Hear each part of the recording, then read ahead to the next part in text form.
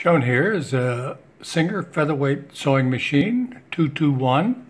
Uh, this particular machine was manufactured in uh, June of 1937.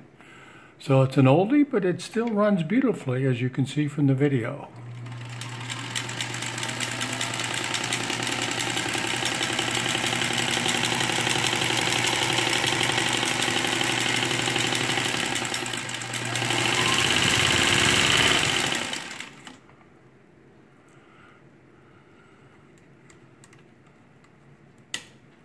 The light works.